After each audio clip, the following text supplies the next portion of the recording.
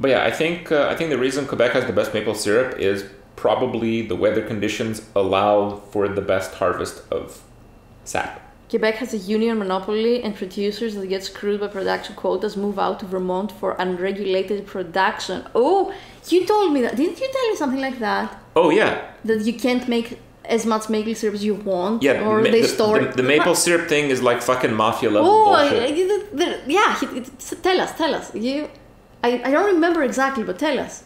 I don't remember exactly either, but basically, um, to make maple syrup in Quebec, you have to like go by certain standards.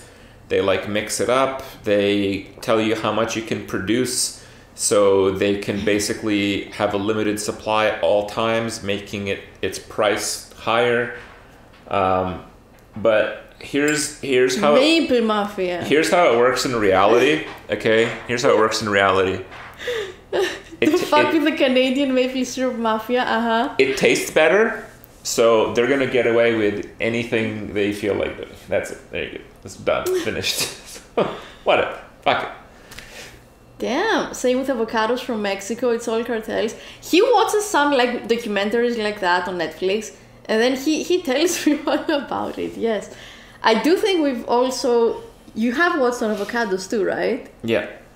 It was a same series. Yeah. With that like rotten Yeah. was a series. Yeah.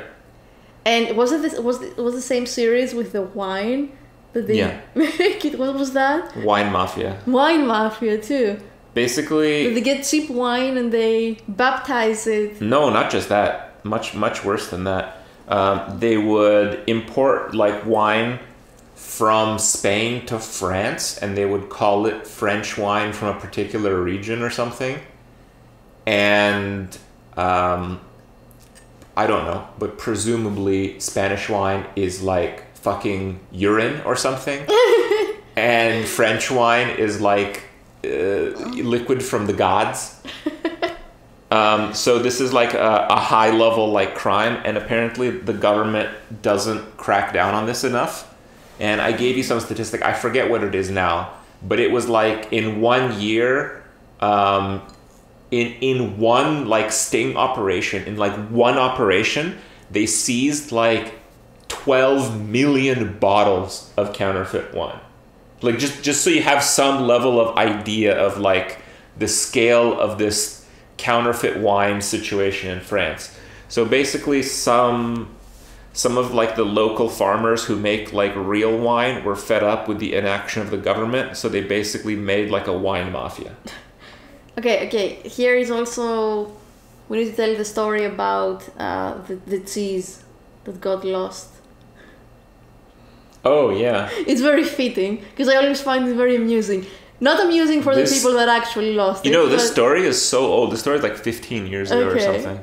So apparently, one of the most expensive cheeses in the world was from someplace in Canada, and their special way of making the cheese was they get a gigantic ball of cheese and they throw in the lake for the greater part of a year. A specific lake. I'm not bullshitting you guys.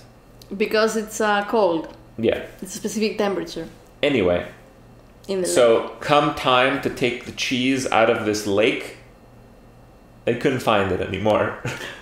so the company was like near bankruptcy. It was like 15 years. They might have actually gone bankrupt from because. One one block of cheese cost like like the the like a hundred thousand dollars. Yeah, one block of cheese was like in the in the tens of thousands or hundred thousand dollars. Yeah, it was like it was like And then they like lost sixty thousand dollars or something. But again, like 15 years And ago, was it was it stolen or did they lose the anchors, like the the floaters? I know. guess, not anchors. The story that I read was that they couldn't find it.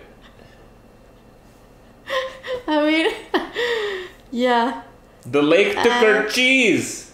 Wait, wait, wait. There is also a, a maple syrup story of the stolen maple syrup that they tracked something.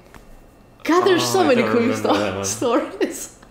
you remember? You told it to me that Yeah, they tracked like forklift or something because they needed uh, because it's heavy. They stole like barrels of maple syrup. Yeah, I remember something like that, but I don't remember the details of the story. It's been too Yeah. long. Sorry. The lake is a Lac Saint Jean.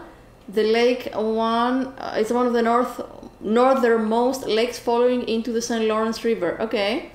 So it is, it is, it's not an urban legend, right? No, it's a news story. Fancy cheese is such a scam. Making something moldy does not make it better. I do not like moldy cheese. I agree with that. What I do like, and it's not that something that I, I knew, like I, I discovered it probably the last like couple of years. The best cheese ever for me is balsamic cheese. Cheese that has basically balsamic vinegar inside somehow. It's awesome. It's amazing. Every brand of it. Like I've never tried balsamic cheese that is bad. Um, Yeah, Lo- Lac St. Jean is not just one cheese, it's a number of cheeses Okay. are, are left in there. And this is a practice since 1890. but it's not it's not moldy. It's like just cheese, you know, with balsamic. Lake cheese. Some guy stole a lot of maple syrup from the reserve in Quebec. Yes, but there is a story of how they track them down that is funny. It's entertaining there. Do you do you know that story? I remember vaguely, yeah, something to do with like they, they Well, tracked down the, Czech- the rental records of forklifts that were able to lift that much maple syrup. Something like that. Yeah. Do you know about the cheese made with larvae inside? I've seen that on like YouTube or TV or something. It's somewhere in Italy, and I believe Yeah. it's outlawed, right? I don't think it's it, it's illegal to make it anymore. no, Like, no, no, no, no, no, no. It's a different one. It's in like it's in like some super fancy. no, I think it's it's illegal. It's in an area that produces like some of the best food in the world, and some of the farmers there make it still. It's not illegal to make it or consume it. It's illegal to sell it. Oh, okay. So, uh, So you're some people under the table is the money. No, no, no. Some people literally like at the show that we saw. Italy, we yeah. saw this on Bizarre Foods, I believe. The guy went there, and the farmer's like, "Yeah, I'll just give you some. Here you go." You just can't sell it. You can't. You can't sell it. It's disgusting. I, I don't know how it's called. It's not called gorgonzola. no. Maggot cheese. No. It is literally um, they leave uh, the cheese. They they let flies sit on the cheese and deposit their eggs, and then the eggs turn into tiny maggots. They're alive. They're on the cheese, Yeah, you, you eat that. and you eat that. It's like, it's, it's pretty crazy. The Bizarre Foods guys loved it. And The guy, the guy wasn't like, ooh, ooh. The guy's like, oh I- my god, this is the best. I, I don't know how that is sanitary though. Like I have know. no idea. have no idea. either. Uh, but yeah, I've, I've definitely seen that. Cheese and no scam. Parmigiano Reggiano is aged for three years. There's a big difference between the authentic stuff and the knockoff Parm. That is that is correct. Yes. It's Like- forbidden to import to any country outside of Italy. No, I, I, okay. Well, in, I think in the show that we saw, I think it was Bizarre Foods. I think he said at that time, at least, they were not allowed to sell it. Maybe, maybe they changed the res- restrictions on food and stuff change all the time. So, like, you know, if we saw like a, if we have a story from a show that we saw like five years ago Yeah. or ten years ago or fifteen years ago, you're right. It might not be true today. It might not be. I like your nails. Kripp. What? But my nails are all done. I went into the trouble 4 a.m. yesterday, last night to make them. You don't like my nails? The maggots are just extra protein. That's what I said. Yeah. I heard about a beer made in Mexico that's brewed with fermented human chewed corn. Mm-hmm. Why? Maybe Like who Maybe the saliva has some the tasty enzymes or something. thought of it?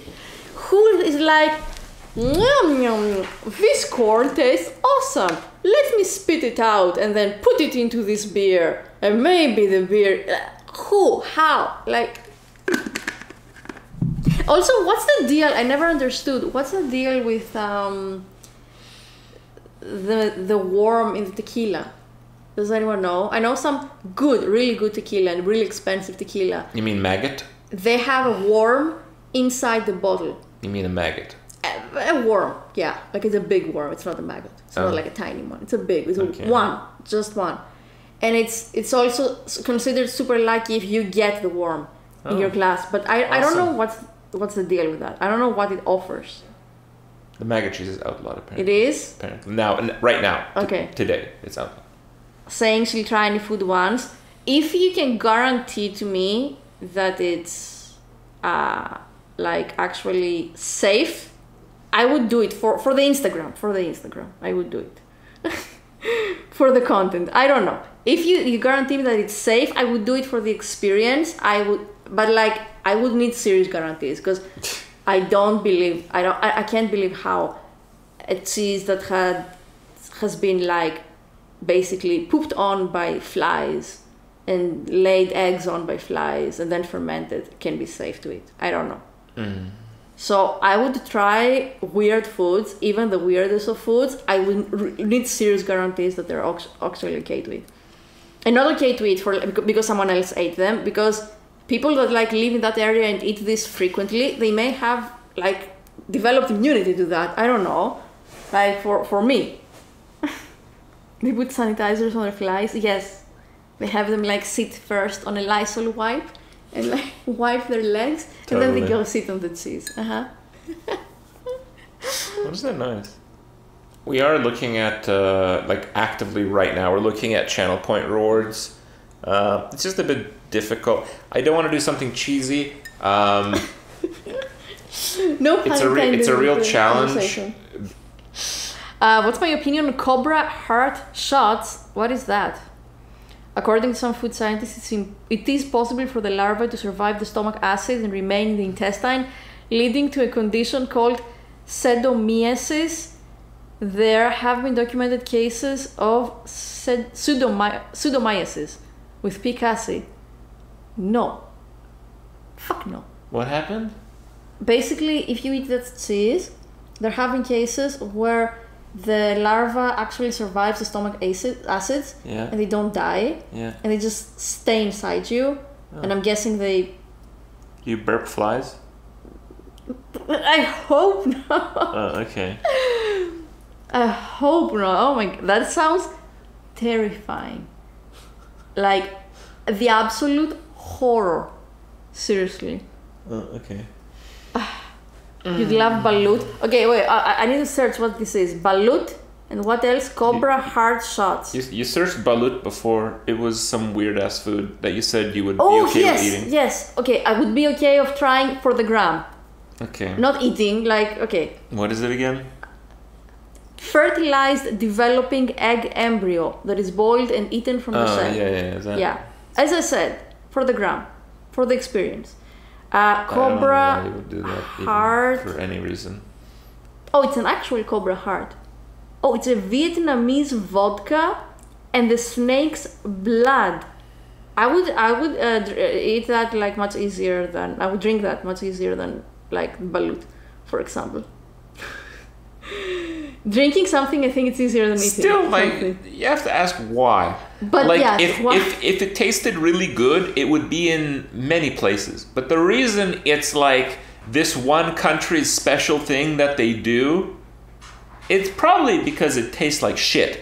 Okay, I- I- it's definitely for that reason. Yes, blood is strength. Exactly. It, it probably tastes like shit, but it doesn't kill you, and you're like, wow, I'm such a beast for drinking a cobra heart. Yeah, wow, you did it. Amazing. Su- such bravery. We'll give you a medal, dude. None of this fake content bullshit. No, uh, for, for the gram, for the gram. Mm. Have you ever tried the brandy where they grow the pear in the bottle? That sounds so normal. After everything we've Yeah, discussed. please, dude. And so vegan too. Like, why do you have to have like worms and maggots and blood and stuff? Have a pear. So what do they? They, What they put the bottle over the pear when it's small and it continues to grow.